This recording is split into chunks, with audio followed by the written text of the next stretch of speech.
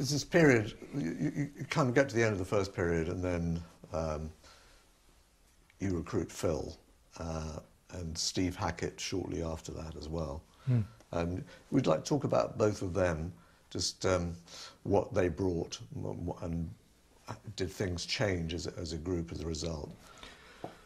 Well, yes, obviously we when Phil came um, initially, I mean, he was was very apparent to us that he was a really good drummer. You know, had a fantastic sense of rhythm and stuff, which we're all a bit stiff. You know, I, am um, Pete has a great idea of rhythm, but doesn't have a great sense of rhythm. you know what I mean? He, he's very good at sort of understanding how it all works, but he can't really do it himself. Um, Mike and I are probably a little bit less, certainly in those days, a bit less good at that anyhow, you know. Uh, so, you know, someone, someone who just, he just made so much difference suddenly. It was so easy to play with Phil, you know, you didn't have to tell him what to do or anything. He would come up with his own things. And, um, you know, it was a very, a, a, a sort of real, and he had a likeness as a personality too. He was, he could joke and stuff and everything, you know, much better than, we were very intense the rest of us. And we were, you know, we were, could be funny, but we you know, sort of kind of very much in our own world. Um, and he was sort of someone from outside who, who could make us all laugh and everything. And we did that first bit, when which is a four piece, which was quite tough, I have to say. Um, but it was it taught me an awful lot because I tried to play as many of Ant's parts as I could. I put um, I had an electric piano going through a fuzz box, and I did a lot of the guitar parts through that, which obviously didn't sound that great. But on some. It worked okay for some things. And so the idea of playing a, the organ part and the, the you trying to work out what was important, what I could leave out of the organ part, and play the the, uh, the, the, the, that part as well. Obviously, Mike had to adapt a bit more as well, you know, to sort of try and fill in some of those gaps. And um, you know, it was quite a frustrating time, and it was quite difficult. Um, the writing sessions, I mean, which you talked about before, where we used to. Uh, I would. I remember storming out of, of when we were rehearsing one place. Uh, his first time with Phil, and uh, you know, I, I, was I was very bullshit in those days anyhow, and, and uh, you know, it just must have been very difficult for him. I think I was amazed he stayed. if I'd been on gone, I think, because Peter and I used to fight a lot, very close friends, but you know, used to argue about silly little things, and um, we had quite a few there. But after, you know, the, as I said, the four piece was, was an interesting period, and, and then we got um, we, we kept auditioning for guitarists, but Mike, you know, was probably not the man to do it because he was looking for a place for France, So it ended up being more uh, other people. We got this. We tried this guy Mick Barnard, who had been suggested to us by someone who was, you know, imaginative guitarist and was good, but just wasn't really quite there. We felt just didn't have quite strong enough personality to be part of the group. So, you know, Peter and I we responded to this ad in Melody Maker of a guy saying he was, you know, looking to do something slightly different went to see, and that was uh, Steve. And we thought, you know, some of what he did would fit really well within what we did. We liked his approach. He wasn't after, didn't want to be a fantastic. He was a very accomplished guitarist without wanting to be a sort of a, a flash guitarist at all. You know, and he was interested in sort of combinations and all the rest of it. So it was, uh, you know, he was. He was a, a great addition for us, I think. He had a slightly more of the classical edge to him, you know, which he introduced into Genesis slightly. Um, and what we found was very much with, with Steve and I that we used to do a lot of stuff together in harmony, unison, or just playing off each other with lead lines. And, you know, this would work. I mean, something like, um, you know, you've got uh, a piece like Musical Box, for example, where we'd alternate a bit. He'd do one solo and I'd do another solo, and that would work quite well. And then you get these moments like, let's say, Los Endos, where we played very much in harmony all the way through. We sort of worked through these parts. We did a lot of that, a lot of that on the Lamb and stuff as well and it just used to work really well. I think we both like to think about it. We tended, we didn't really do sort of improvised solos. We tended to write instrumentals, and um, obviously you get there by improvising. Don't get me wrong, but you, you sort of when you actually go on stage, you've got a written part, and if you're playing in harmony with each other and the chords are changing quite a lot, you can't really improvise doing that. So it produced um, some really good moments. I mean, in, you know, Los Endos being one of the best examples of I think where we we sort of duetted very well. I thought, and uh, you know, it also meant Mike was able to become, I mean, he always was a rhythm guitarist, and he's a really good rhythm guitarist. I think that's sort of people underestimate the power of a rhythm guitar. You know, um, you talk about guitarists, you tend to think of sort of, you know, whether it's Hendrix or Clapton or Jeff Beck or whatever, all great musicians. But what a rhythm guitarist can do is something completely different. I think, you know, and you get some people like I mean, all the riffs and everything you hear on pieces, but he was just really good at setting up um, a kind of mood. And he didn't want to be a lead guitarist really at that stage, Mike, at all. So he could lay down a basis, either on using bass or using guitar, uh, which the you know Steve or I could could do stuff on top of, if you like, and uh, that was was really good. And I think you know, as I said, because Steve wasn't really so interested in the rhythm side of it, it gave Mike a real chance to explore that, and you know, could really developed as a rhythm player. Did, was there um, an easy settling into this this new kind of band, new relationship? Well, I think we had seniors and juniors definitely, really. Um, you know, I mean, they'd be the first to say mention. I think both Phil and Steve were not kind of, you know, uh, the, the opinions of Mike, Peter, and I carried more weight, if you like, and we got our we got our sort of ideas through more often. Uh, certainly as writers. Phil at that point really didn't do much writing, so it didn't worry him too much. It worried Steve more, I think, because he had more writing ideas. But some of the stuff we really didn't feel felt the rest of it didn't really want to do. Didn't fit with that, what we did. We tried to pick the areas that we liked a lot, and you did come up with some great stuff, you know. Um, you know, particularly with Can Utility the Coastliners in the early days, and then things like uh, Blood on the Rooftops later on. You know, some wonderful moments we could use and make really good use of, I think. But there were other things we weren't quite so into, which, you know, he liked. Um, so, you know, that must have been a bit frustrating for him, I think. Uh, and I think it was only after. I mean, Steve was sort of starting to become a kind of senior, if you like, by the time he left. And then he left. Oh, it surprised me. He left at a strange moment, I think. Um, in terms of a, as a player and a, and a, sort of ranger, Phil was kind of pretty much got in there fairly fairly fast, I think, but not as a writer until you know 1980 or after Face Value, when he started to get his confidence as a writer going a bit more. So um, yeah, I mean, so that's I think they contributed less as, less as writers and much more as players. They made us sound like a professional group, which we didn't really sound like in the early days. In a sense, it was kind of the first time you'd got um, full-blown professionals in with you. Um, thinking of like Phil had done this sort of work, working on other people's albums. He's sort of slogged around. Mm. Um, he hadn't done so much at the time, I suppose. And to be honest, John Mayhew had come out of a group called Steamhammer, who had been sort of a you know, done the circuit a bit. So he, he'd been around a little bit. So he was brought in as a professional. But, you know, Phil was a very adaptable player. And I think as most drummers are, they sort of can do more than one thing. I mean, if they're really good drummers like that. So he was able to, any frustrations he felt with having to play with us, if you like, he could take out by playing with other people, particularly in the more jazz rock area, which he loved, you know. Um, so, you know, it's sort of, I can't what I was going to say now.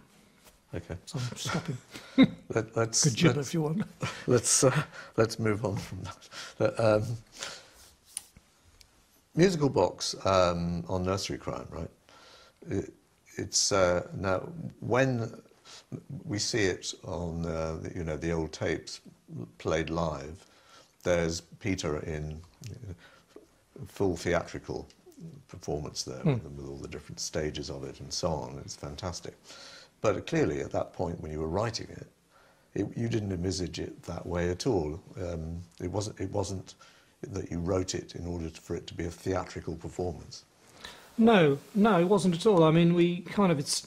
It was a piece of uh, music we'd had around for a bit actually, um, which Mike, uh, they knew what started the start of it, a thing that Mike and Ant had been working on, and we used it as an instrumental bit in some uh, music for a potential BBC program that never got shown. Um, and it was it also was a nice bit. We wanted to make more of it, you know. So we used two of the bits in that as the basis for it, and wrote a melodic line on top of it. And then you know it sort of started to want to go other places, and we tried other things, and and all these sort of things happened, I suppose. And you know the idea of we having done stagnation, which had been sort of like gone through various different moods. This we wanted to do something along those lines, but perhaps with a bit more sort of meat to it it was not a very conscious thing. We just, at that stage, we were quite happy for songs to go on for a long time. We liked that, you know. So we did. And, um, you know, went through two or three quite contrasts again between the quiet bit and the loud bit and everything. And then this very serene ending, which was kind of a bit of a fluke, really. Um, Mike just started playing these two chords on the, on the guitar like that, ding, ding, and I started playing these chords on top of it, um, which sort of was like as a fugue thing, really. and it just sounded, you know, it was very triumphant, sort of, sort of had a sort of uplifting, glorious quality about it. And again, like I said before with Supper's Ready, um, I originally saw it as an instrumental piece, you know, totally instrumental. Of course, then Pete starts, he's got, I've got a story, I've got a storyteller, I've got to start singing. So he starts singing on top of what I've written. I think, you're ruining it, you're ruining it, you know. Um, but then you sort of start thinking, well, actually, this is sounding really good, you know. And after all, I'm only playing a chord sequence. And, uh, and it, you know, it became that sort of last bit there. You stand there with your fixed expression, that sort of whole bit, I think, became, you know, the real high point, I think, from that, from that album. And, you know, sends shivers down your spine when you hear it. And The way it sort of just builds and builds and builds to this sort of kind of pseudo classical ending, if you like, which was fun to do. So it's kind of where it starts and where it ends. I suppose it's it's the real key of that song. Some of the middle stuff, you know, is, could have been different, but the beginning and the end are crucial. Do you think um, it's a whole other experience seeing the, the theatrical side when Peter's in full costume? Well, I don't think so. I mean, the story was just, was always there, and he just was acting out the story. And I think when we first, the first time he ever wore a costume on that was obviously was, uh, uh, infamous time in, in, in Dublin in the boxing ring where he came on in the red dress from the album cover. It's actually his, his wife Jill's dress. In fact, he came on and, with the fox's head on, you know. And he hadn't told us about it, which is just as well because we'd never let him do it. Um, and it was just, you know, playing the thing, oh, God, you know, what's going on here? Um, and as we said before, this also got us on the front page of Melody Maker, so we thought, well, this, this is okay. Anyhow, after that, having done that, he decided, you know, once he got into the idea of doing this sort of thing, the idea obviously of actually playing the role of the person in the song, who's a sort of obviously a young child who gets prematurely old, and so he comes on as this in this old man's mask, which is actually really spooky, and it really worked very well. That just simple lighting, audience not expecting it the first time he comes out as an old man, saying, "Who's this guy?" you know, and sings this bit, and I think it's very moving, you know, and so it, it just enhances what the song already has. We've always tried to do that with visuals right through to the present day. You not to slap something on, not just use lasers because you've got them or whatever. You know, you try and make it part of the song. So you try and get the builds and sometimes the sort of lyrical content to be illustrated by what you're doing. And, and I think Musical Box was sort of the first time we really did that successfully, and, and it was very simple. And, and that came obviously from Peter and was very effective. And by the time it came to uh, Foxtrot, um, you obviously had picked up a following. I mean, you know, mm. the, slogging around the country in the in the baker's van, you kind of moved on a bit, and you got a manager. We got a transit van now. Yeah, yeah. and you got Tony Stratton Smith involved as yeah. well. Um, was this?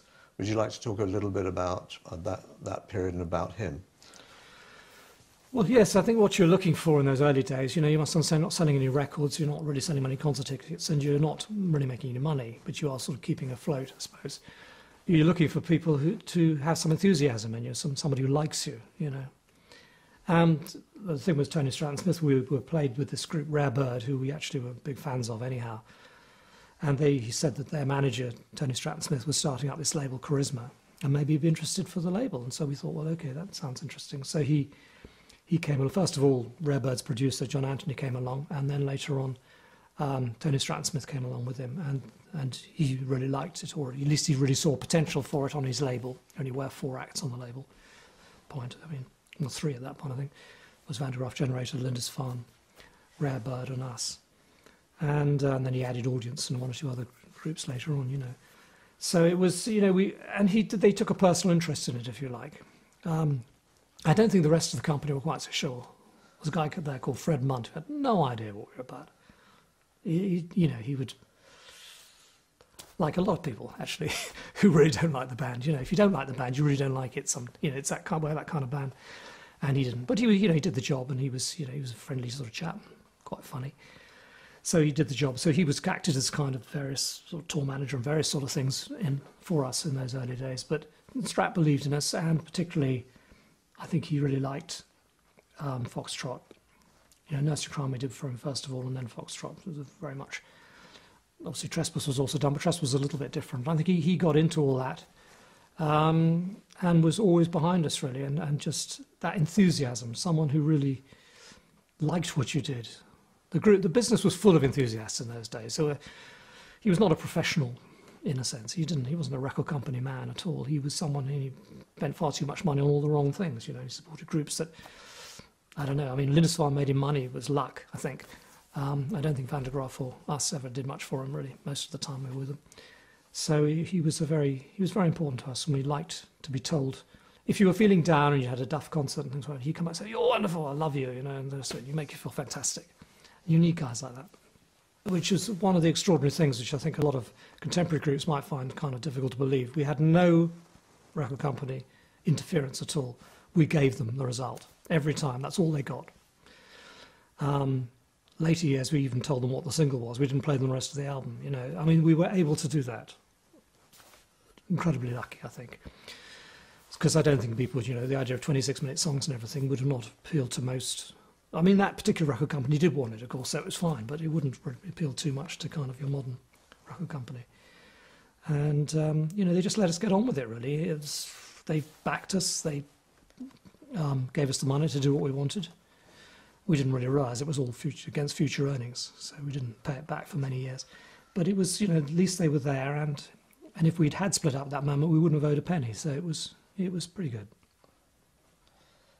Um, I want to ask this question, and I haven't had an answer on it yet from anyone. Is why uh, selling England by the pound was actually a slogan of the Labour Party in '73, mm. I think.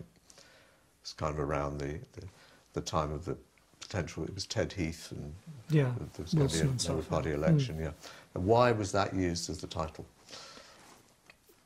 It was Peter's idea. It came in the song, "Dancing with the Moonlit Knight," uh, as a, as a phrase in there, and we just thought it's a fantastic phrase we should use it as a title, you know. Um, it wasn't particularly supposed to be, you know, it's a bit like you just a phrase you hear and you, you use it. It's, it's, um, it's like Pete used Games Without Frontiers as a title of one of his songs, but it was nothing to do with It's a Knockout you saw on TV or even the, the charity group, you know, it's just a good phrase that he felt kind of could work. And I think that's how it was with, with that, really. It just sounded good. And it, I think it represented so much. It was so good as to what we were trying to do. You know, we were a very English group trying to make it in the world, if you like. And so we're sort of selling, selling ourselves, really. Um, uh, so that's, and Peter might have more profound things to say on it, on it than that, but that's my memory of it. And, you know, it's, it's still one of the best titles we've, we've had. I mean, I know it came from somewhere else, but still a great title. No, I think it's a fantastic title. And the idea of the, the very English group mm. sort of links back to um, something I was trying to get at, but maybe we'll have another another dig at this, is, uh, you know, songs like The Musical Box, um, where you've got a kind of mixture of the English nursery rhyme and the, the, the kind of um, the tradition, English tradition in there. There's a, there's a sort of pastoral thing running through as well. All that comes in. Um, is that is that because it, it reflects you guys and where you came from and you know your your sense of I mean you, you like you like to live in the country or is it is it just something that's coming from you very directly? I'm wondering. Well, I'm not one to answer that. I'm pre presumably yes. I have no idea. It's not something ever a conscious thing. It's just what appealed to us and what we did. Um, it just seemed to come out in this sort of English kind of way. I said in our influences, you know, with the sort of folky influences and other things. We're probably more. We, we like to take influences from uh, elsewhere as well. I mean, we've mentioned some of the American acts that we liked. I mean, Peter and I particularly were very keen on American soul music. You know, I mean, Otis Redding. You know, I just love the way that I love the soulful voice on kind of quite a lush backing. You know, you think like "I Put a Spell on You" by Nina Simone is just archetypal of that. You've got this, you know, very almost classical sort of string sound in the background, with this very sort of you know soulful, moving voice on top of it. And I love that combination. And Peter obviously had that kind of voice, so really liked that kind of thing when we could use it, and we did it a lot. I mean, from looking for someone onwards, really, we were doing that. Um, That's the first song on Trespass. Trespass. yeah, that comes out very strongly. It's like such a clear, soulful voice. It's quite startling. well, I think it. that's you know a, that's why we wanted to start the album with. I mean, Pete never sang you know on that was far and away the best singing on that album. It just sounded great. And the version we used was actually the thing he did on the on the rough mix. His version, his singing, pretty much used that because it just sounded so good. Um, you know the song, and it, it, it's sort of sort of set a certain area of where we wanted to, to kind of be, I suppose. And the Englishness, I think, came more, perhaps more from the guitar things in a way initially. Things like White Mountain and Dusk, sort of, they sort of feel very English, I think. Um, the other thing we tended to do a little bit, I suppose, was it's a curious thing, but some of the early Genesis music was very definitely intended not not to swing. That's a kind of strange thing, that. But um, I was talking to some guys later on, some American guys, some one of these jazz rock groups, something. They, they wanted how you did that. Because they'd all been taught up, everything had to swing. It was the thing. So everything's got that little bit of something about it. If you want a thing to be totally square, sometimes that really works well. And you do a song like, well, Squonk, obviously, we're trying very hard to do that. But even if you go back to things like um, Firth of Fifth, it's very straight. There's no kind of hint at sort of. And that's quite English as well. Because the American stuff that we loved, you know, whether you're talking about sort of Tamla or whatever, that's all got that swing to it, you know. Uh, so whereas English groups were, were happier to perhaps be a bit squarer. You know, Beatles often were quite square, I think, and, and, and the Kinks and all that sort of stuff. And they were sort of big influences on us. It, it's, it's difficult to know, you know, why. I can hear it that we sound English, but I don't quite know. We, there was no conscious attempt to do that. That's just how it was. Um, interesting you mentioned Firth of Fifth. Uh, Daryl um, talked about talk, talked to us about the the kind of having to relearn in a way a particular style of mm. guitar playing, and, and I, I, imagine it ties in with what you're saying that that the uh, there isn't a, isn't swing in that, and he's mm. kind of he's an American musician who's well, it's partly that. I think, I mean, Daryl is a complainer thing. You know, he's an incredibly versatile musician, brilliant musician, really.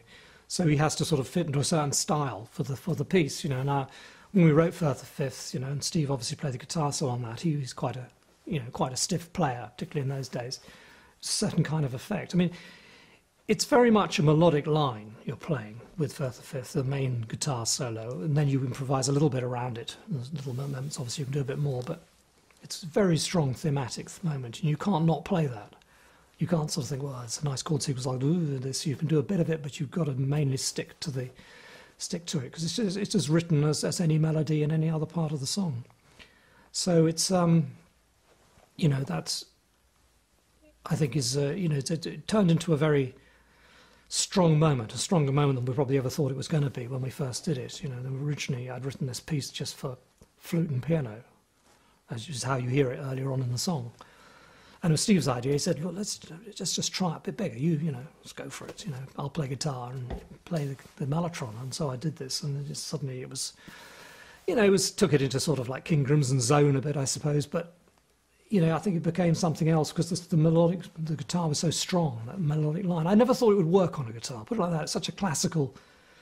You know, the little rundown is so classical. I thought it would never work on a guitar, but it just sounded great. And um, and you know became sort of one of the high points on that album, Selling England. And it's something you played live. Um, well, we played that bit of it. Normally the two instrumental bits, which were probably the two strongest bits of it, the keyboard solo, which gave me a bit of a party piece, I suppose. Um, I know a lot of pianists who use it as their party piece. and if you go onto YouTube, you'll find hundreds of people playing it. It's just one of those things, I don't know. Um, they can all play it better than me, I'm sure, because when I stopped playing it live. I had a we were playing in um, Drury Lane. We had a residency there for about four or five days, and on I think it was the second or the third day, I used to start Firth of Fifth with the piano part, but I had to play it on an electric piano. Uh, in those days, electric pianos were pretty basic things. Uh, this RMI piano, which had no touch sensitivity and didn't have full full keyboard.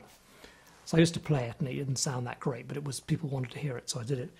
And one time I was playing it and it's, I was quite enjoying myself, and I went up and I started playing it, and I started playing it like I played on the album. Went up, no keys. So it's that moment you think. so I just threw my hands up in the air like that, and the rest of the band look at me like this, and they and Phil goes three, four, and they go into the song. So I mean, after that, I also because I felt it was kind of like after we'd done the for the next tour, we didn't do it obviously on the Lamb Talk we didn't do any of those songs. When it came to Trick of the Tail, we wanted to do the song, but we did it without the without the introduction. It just sort of seemed a little bit self-indulgent. But it was. Uh, but anyhow, the keyboard, the version with the synthesizer and drums and everything, which was always quite exciting. A certain element of the audience loves that kind of stuff where everything. It's like real band play, orchestra stuff. You know, you, the drums, everybody's doing their own thing. It's very important. Every beat has to be hit, and it's you know quite complicated and it, it excites some people. You know, that's when they're going to have a pee, but other people, that's them the, the high point. So that combined with the very serene and much more straightforward guitar solo afterwards used to be the two bits of that song that survived right through to the end. Maybe it's a point to talk about you and Mike um, and the, kind of the generation, the, the generating of this kind of what I call the engine of Genesis, you know, which which is there in um, the early stages, but then is there in, in your final record. You know, you can th- that sort of sound that is. Well, on under- calling all stations, there was no one else, so it had to be just us, didn't right. it? Really?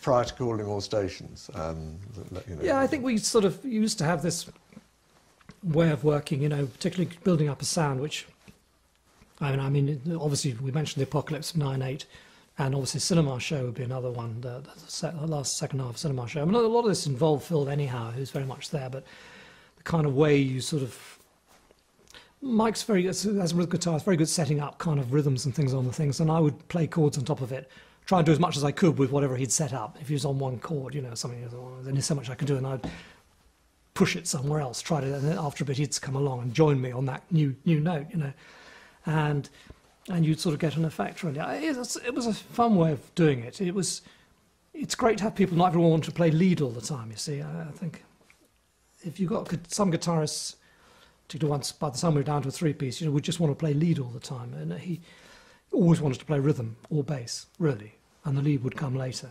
I mean, a couple of times the lead line was important, but and so you ended up with this kind of combination of, of the two of us being very crucial, I think, to the, to, to the things, particularly in later Genesis, I suppose. Um, you know, so sometimes, I think, uh, sometimes things you didn't you didn't let them become what they were obviously going to become. I mean, I, take a song like Dodo, which uh, where there's a, a, really great guitar riff in that, which could have been a disco hit, really, uh, which is the verse, but kind of being how I am. and not really being so much into that kind of music, kind of did something with it that changed it a little bit and made it part of this sort of rather cumbersome sort of big, big song, Dodo-like sort of song, you know, which I think was quite interesting and worked quite well. But it was different from what it could have been. You could have had a hit out in the middle of all the, the verse of that, I think. Um, but we didn't go that route. So you know, we sort of we act as sort of helpers and spoilers for for each other's bits sometimes, which is which is good. I think that's that's sometimes you take things where you don't think they're going to go, and, and that can be quite exciting. Um, and I, you know, when we started writing Trick of the Tail, and Steve wasn't there because he was still doing his solo album, that sort of first moment when we started doing that opening of um, Dance on a Volcano, you know, it just was such a key moment that really we sort of Mike was playing guitar, I started playing these chords, and I didn't play slightly less obvious chords than the ones that were suggested by the, the riff, you know. And it just suddenly that was Genesis. It was a whole thing, you know. It became something, and we knew we were on on a way. You know, you sort of the key moment to, to give you the confidence that you could do this. Um, it wasn't going to just be a combination of solo songs, although they were very important on that album. It was going to be group stuff that would be able to, you know. Um, be something very different. And I think Volcano particularly, and then later Los Endos, which came, um, were the two sort of key tracks from that point of view.